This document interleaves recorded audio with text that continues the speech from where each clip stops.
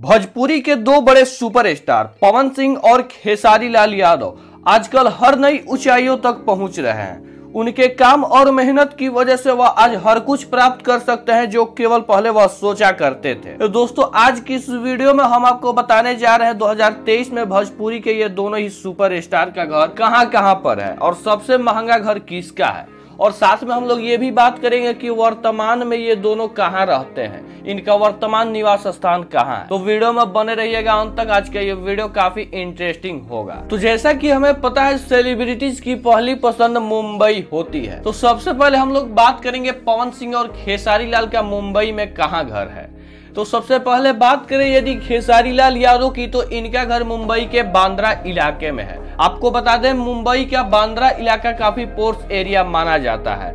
इस इलाके में ही खेसारी लाल यादव का तीन मंजिला घर है। इसका वीडियो आप लोग स्क्रीन पर देख रहे हैं। इस घर की कीमत आज के समय में तकरीबन 13 से 15 करोड़ रुपए बताई जाती है, क्योंकि यह घर खेसारी के खुद की ज़मीन पर बनाई गई है। यह घर बाहर से दिखने में जितनी खूबसूरत और आलिशान है, उतना ही वह अंदर से भी आलिशान और लग्जरियस है। इस घर में हर वह सुख सुविधा मौजूद है जो एक आलिशान बंगले में होती है।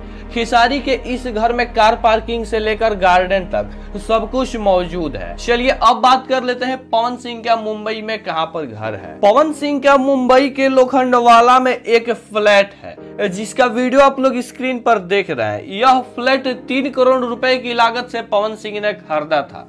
यह फ्लैट और इसके साथ साथ मर्सिडीज कंपनी की एक कार मर्सिडीज बेंजियली 250 डी इन दोनों को पवन सिंह मुंबई में एक साथ खरीदे थे और इसका फ़ोटो अपने फैंस के साथ भी शेयर किए थे। यह फ्लैट 4 बी का है, जो कि काफ़ी खूबसूरत और लग्जरियस है। अब बात कर लेते हैं इन दोनों ही सुपरस्टार के जन्मभूमि, अर्थात बिहार में कहाँ कहाँ पर घर है।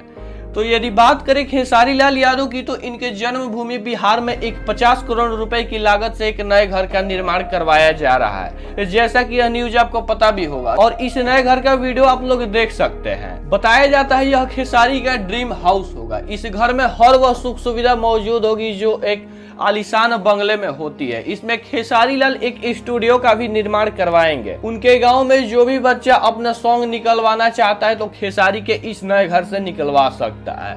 इसके साथ साथ उनका पैतृक घर बिहार के सारण में मौजूद है। यदि बात करें पवन सिंह की तो जैसा कि हमें पता है, पवन सिंह का जन्म बिहार के आरा ज़िले में हुआ था। तो उनका आरा में एक आलिशान घर है, जो कि नीलम निवास के नाम से जाना जाता है। और आप लोग इसका फ़ोटो स्क्रीन पर देख सकते हैं। तो इन दोनों ही सुपर स्टारों के घर में आपको सबसे खूबसूरत घर कौन सा लगा, कमेंट बॉक्स में ज़रूर बताइएगा। यदि आज का यह वीडियो आपको पसंद आया हो तो वीडियो को लाइक करके चैनल को सब्सक्राइब कर लीजिएगा।